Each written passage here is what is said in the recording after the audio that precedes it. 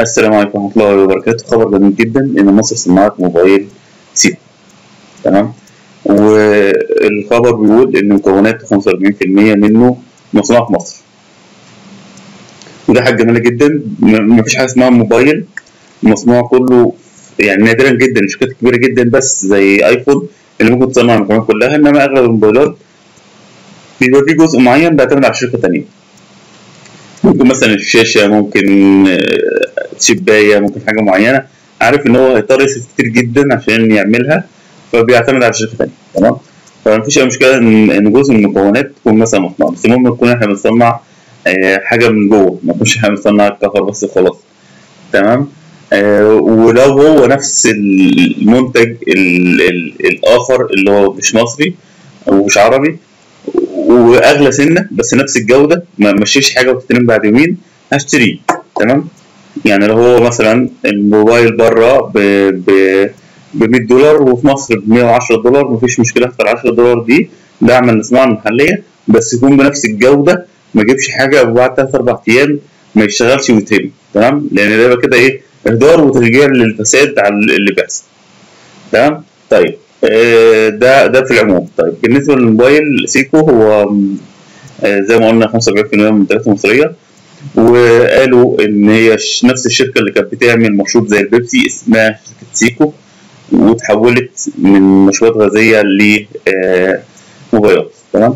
لكن ما استشفيته يعني أنا بحاول أعرف شوية معلومات عن الموبايل آه عندي بيانات ومعلومات بس ما وصلتش لمرحلة المعرفة يعني الكلام اللي أنا اقوله ما عنديش وثائق عليه أو حاجة كده. بس أنا قعدت أدور على حاجات تأكد وجود الموبايل مفيش يعني اللي أنا استشفيته إن الموبايل بيستورد من الصين جايز مكتوب عليه صنع في مصر. تمام؟ نجرب الموضوع دوت. أتمنى ان إن الكلام يطلع غلط بس ده بقول لك اللي أنا أثناء تدويري وسألت ناس كتيرة في في الموضوع دوت قال لا إحنا م- ساعات مثلا بن- بنتصل بيهم في الصين ونقول لهم إحنا عايزين آم، 1000 موبايل واللي أنت عايزه بس يكون مكتوب عليه آه، صنع في ألمانيا أو صنع في مصر أو أو أو. فكده أنا أنا بضحك على الزبون أنا بقول له إن ده منتج مصري وشجع منتج مصري هو باع لك الحاجة اللي هي 50 ب 100 عشان تشجيع للصناعه المصرية وفي الآخر هو كله صيني وبيجي الصيني متقفل وهو بيحولك تمام؟ فلازم ناخد بالنا من حاجة زي كده. لازم يكون في مصداقية. لما تقول إن هو صيني وأنا عايز الصيني أشتريه. لما تقول إن هو 75% منتج مصري وأنا وأنا واثق في كلامك هشتريه. بس ما يبقاش فيه ضحك على الموضوع. في ناس كتيرة بتعمل الموضوع ده وأعرفهم شخصيا يعني واتكلمت معاهم. قال لي آه الموضوع بسيط جدا بتدفع مبلغ بسيط. قلت له هو عايز هو عايز يبيع تمام؟ لو هو مش فارق معاه خالص. لو قلت له صنع في مصر هيكتب لك صنع في مصر. صنع في السعودية هيكتب لك صنع في السعودية.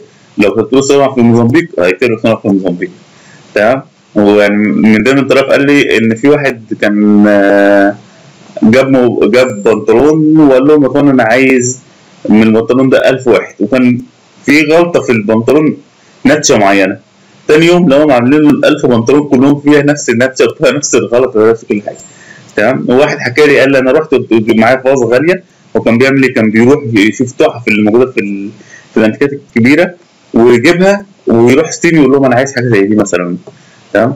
فوريها له فتاني يوم جاب له خمس حتت قالوا دي ب 1000 ودي ب 100 ودي ب 10 ودي بواحد ودي بخمسه هم وبيقول لي مش فارق. مش عارف فرق بينهم خالص تمام؟ وأنا لما دخلت على النت وبدور لقيت في شركة صينية اسمها سيكو بتصنع موبايلات والموقع بتاعها يعني جاهز إن هو أي حاجة تطلبها منه. تمام؟ فأنا نفسي حد يأكد لي المعلومة يقول لي لا إحنا شغال في المصنع والمصنع بيصنع الحاجات ديت. آه لا ده الموضوع ده مش حقيقي.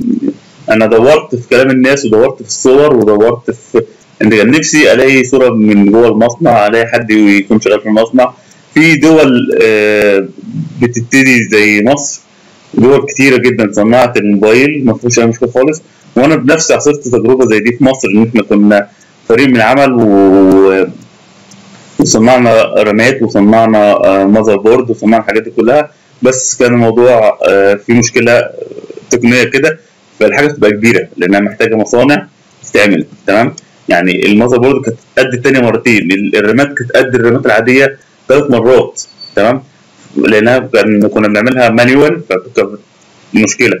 وطلبنا حاجات من الصين بعتوها لنا على طول وبس المشكلة في الجمارك رغم إن هم كانوا باعتين لنا هدية يعني هو بيقول لك شوف المنتج لو عجبك ابدأ اشتري مننا فكان بعت لنا كوتين ففي الجمارك آه، فرضوا جمارك كبيرة فقلنا لهم خلاص خدوا واحدة وخدنا إحنا. تمام؟ ورحنا للراجل اعمال كبير جدا جدا صاحب شركة آه، صاحب قناة آه، إعلامية كبيرة وراجل اسمه بينزل على غرفه مجالات كتير.